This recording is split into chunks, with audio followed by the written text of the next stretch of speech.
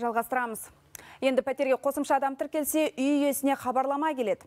Көбіне азаматтар өзге адамдардың тіркелгенін арнайы органдарға барған кезде біліп аң-таң болып жатады. Осыны ескерген азаматтарға арналған үкімет жалғалушыларды тіркеу туралы пәтер иелеріне СМС хабарлама жіберудің жаңа қызметін іске қосты. Халыққа қызмет көрсету орталықтар арқылы азаматтарды тіркеу кезінде үй иесінің ұялы телефонына өзі тіркеген адамның деректері жазылған ақпарат түседі. Егер үй иесі біреуді тіркеуден шығарғысы келсе, ол адамға да хабарлама келеді.